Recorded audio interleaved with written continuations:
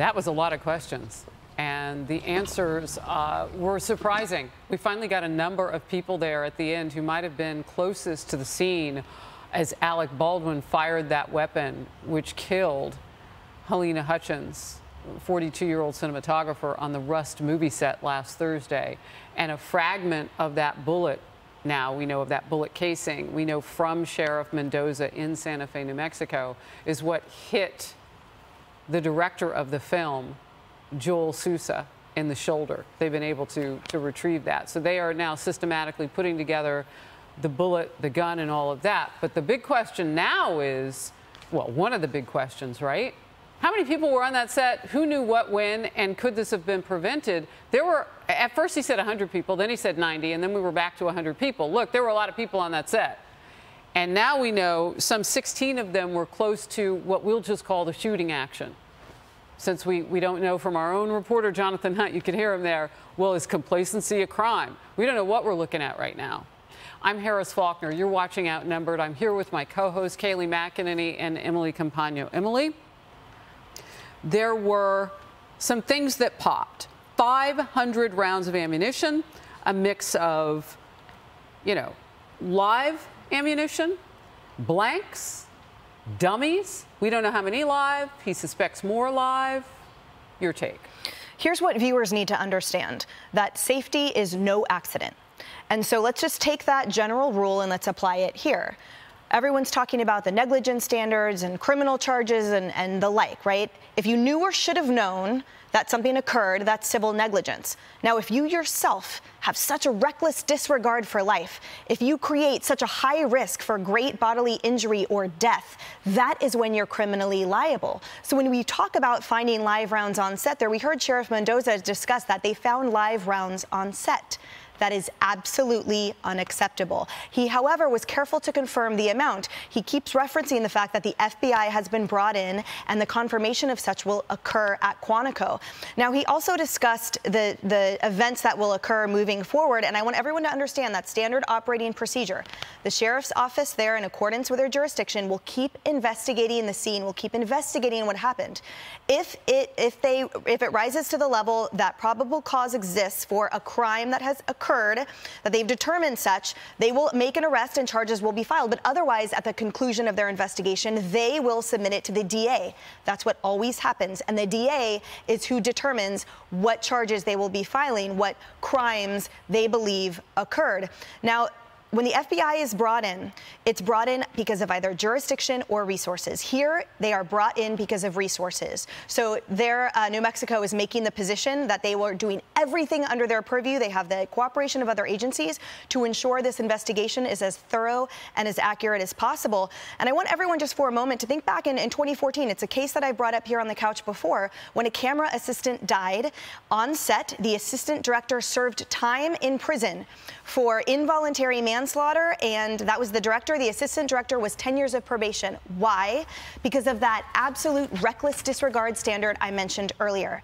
And what's interesting there, and why I bring it in here, is because there were so many complaints on that set of right. that reckless disregard, so many safety protocols that were ignored, that were under the purview of the director, and that they then that proved that it led to that poor camera assistant's death. So here, taking it back, we have the sheriff saying we are aware of all of the safety complaints that occurred. We are aware of allegations of alcohol consumption the night before.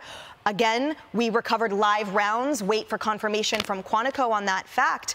Uh, but if they knew or should have known a live round was in that gun, if people knew or should have known, if that assistant director was negligent, was had reckless disregard by allowing mm -hmm. those mm-hmm. live rounds on set, by the armor, by any kind of lack of, of protocol and safety, that's when we can expect charges to be filed. All right, I, I, want to dig a little bit deeper um, from just what we heard. We're, we're going to work on the facts that Sheriff Mendoza of Santa Fe County and the prosecutor just gave us. Uh, and, and there was really a lot to get to. And something that Emily just talked about reminds me, and I don't know if our team has the 911 call, but when that assistant director, when, when, when the prop people were mentioned and a 911 call, it starts to your point, Emily, of there were problems on that set before oh, this yeah. happened. So my big question is, well, who's at the top of the food chain here? Is it Alec Baldwin? Is it somebody Producer. else? Yeah. I mean, how does it work? And if safety is always the thing with guns, and you heard the sheriff saying it's always a thing, and Emily saying it's always a thing, it's always a thing. Did, Eric, did Alec Baldwin know that there were potential live rounds among the 500 am- ammunition, or rather, uh, ammunition that they found? Well- like, was there even a possibility of this happening, and was he aware of it? Well, there was a possibility. And look, Emily laid out the law beautifully, knew or should have known. Let me give you some alleged facts that would fill in that part of the law. Now, these are facts I would think would be considered. One such is that a stunt double accidentally discharged a prop weapon that he was told was a cold weapon. This mm-hmm. happened less than a week before the Alec Baldwin shooting. Another fact we know from the sheriff is there was, quote, complacency on this set. Ian Hudson, who was an actor who filmed a death scene on this very same set, he said this. He said, when the rounds were released, these were uh, blanks that were fired at him in his death scene. He said behind him, the crew was in the direct line of fire and they had shields in front of them. These, again, were blanks that were being fired. And he said, when the rounds were released, when they shot at me, I actually did feel the blanks hitting my face and my body, and I could feel the wind from the shotgun being discharged. It was heavy, it was strong. I would talk to my fellow cast members afterward. We all agreed how intense it was, how scary it was, how real it was. And he went on to say, remember the last time this happened was that 1993 uh, death of an actor uh, to a prop weapon? Well, he said they'd actually compared that set and how it felt on that set to this 1993 Them incident. talking amongst themselves. Talking amongst themselves. Oh, that's interesting. So there was complacency. So, and, and if any of those people were among the 16 that the sheriff just said, 16 or so, who were closest to what was going on, and they feel like they've talked to all 16 at this point, according Sure. to the sheriff, then they've got what you just. You know, what you just described. And that's a big potential chunk of putting this whole puzzle together. If people can talk in that much detail, there's some expertise in that setting. Yep, comparing it to the death of Brandon Um, Yeah, Lee. I I mean, Exactly. that, that is really interesting. So you mentioned the word complacency. And the sheriff said complacency on the set is something that state and industry should look at. Mm-hmm. So, from what he knows, there was complacency. We've got that 911 call. And remember, the script supervisor uh, was placing the blame on the film's assistant director in the 911 call. Let's listen. an AD that yelled at me at lunch because asking about revisions. This motherfucker. Did you see him lean over my table and yell at me? He's supposed to check the guns. He's responsible for Are you what happened in the assistant now, Mimi? No, no, no. I'm a script supervisor. He's supposed to check the guns. He's supposed to do all of that. yeah. I- I'll tell you who else, and, and I don't know how this all works. And, and Dagen McDowell and Guy Benson are with us today on Outnumbered, so I want to bring in our entire family for an hour. Hello. Uh, you know, I, I would imagine if you've been around movie sets as much as Alec Baldwin and television sets, so on and so forth, there might be somebody in your constellation who would say, if you're going to be handling a weapon, you too need to know just a quick two, three second check hmm. of whether or not there's a bullet in that barrel. You need to know whether there's any round of any kind in it, regardless of what you may know about any round or any kind in it. You need to know that there's not one. If you're just sitting on the stump of the church at the set, which is what it's described, and you're going to point that gun at the camera and there are people around, not with shields, the way that, that Kayleigh was just describing as far as we know. What are your thoughts about this, Dagen? Um, this is something that you learn as a child uh, from friends and family members when you're taught how to handle a gun and when you're taught gun safety, that you always check the weapon to see to make sure it is not loaded. But again, on a movie set, there is a, and Emily can weigh in on this, but there should be a greater expectation and responsibility for Alec Baldwin because he's not just an actor on this film. Right. He's also a producer, number one. But a cold gun means there is not even a. Uh, There's not nothing a- in it. There's nothing in it. There's Right. not even a uh, blank in the gun. The the biggest question is how did live ammo wind up on this set? Who brought it onto the set Mm-hmm. and who knew about it and who allowed it? Because one thing I found interesting from the sheriff that of the five rounds of ammo, they dis- they ha- discovered blanks, which is uh, a, which is powder no lead. They discovered dummy rounds, which is uh, has le- it's meant to look like a bullet. It's no powder and lead traditionally, and then actual what they believed to be live rounds. There was also, uh, of the three firearms picked up, there was also a plastic non functioning revolver. That's a prop gun. Any reference to the weapon that Alec Baldwin discharged, killing the cinematographer and injuring the director, that is not a prop. We need to stop saying that. It is an actual That's gun. An excellent point. It is an actual gun. A prop is something that has no ability of firing a blank or an actual live round. So, but it's interesting to know that the, there's a plastic non-functioning revolver involved. Why didn't they hand him that? Like, I, I well, guess we won't ever know as he sat the, on the stump of that church on that movie set. The chain of uh, responsibility, traditionally, it is the armorer who mm-hmm. hands the, the actor or actress the gun. And why, eh, this is something clearly they're investigating, but why did the assistant director, Halls, grab the gun off a cart? Why?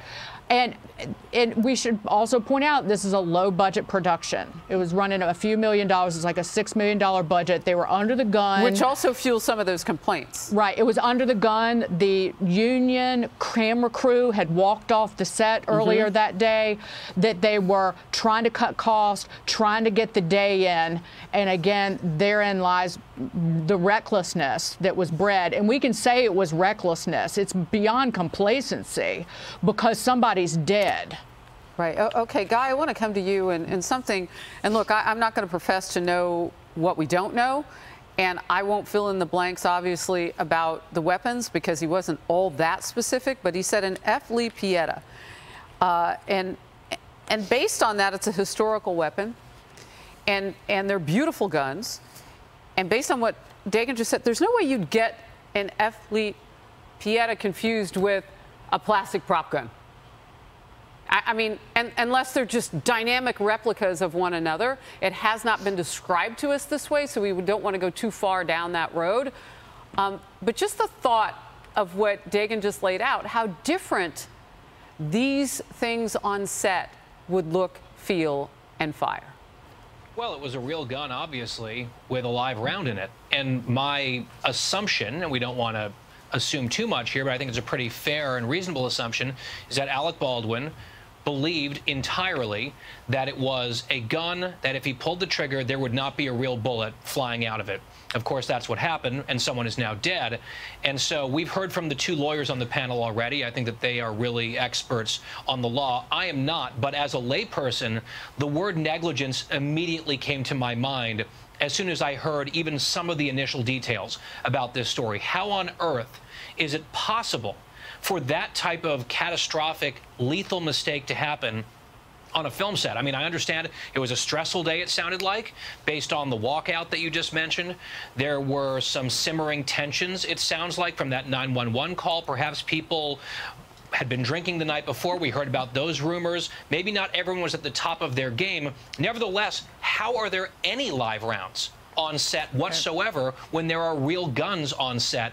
And I don't think, from my perspective, listening to all of those questions and all of the answers from the sheriff and the, and the district attorney, I didn't learn a lot of information. The one piece that really did stick out to me is that, at least based on the sheriff's framing of it, this was not just one real bullet. They believe there were multiple live rounds, yeah. multiple bullets on set. How on earth was that even possible, and who is responsible well, for that? Well, we know how it was possible.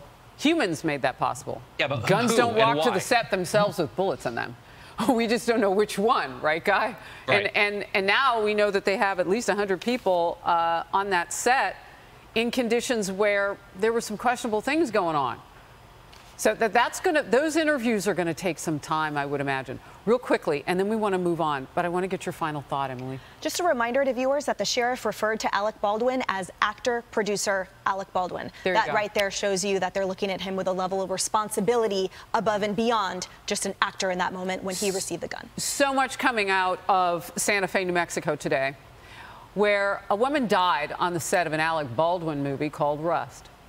And, and the irony of all of it is there was trust that they were passing around, apparently, but with a gun that was potentially loaded with a live weapon. And I say potentially because we have to wait for the crime lab to figure all that out. But the sheriff, Mendoza of Santa Fe, seemed to be pretty confident of it. Halyna Hutchins is dead. The director on the movie set, Joel Souza, they took a fragment from what was fired from that gun from his shoulder. He's recovering. We'll cover more on the story as it happens.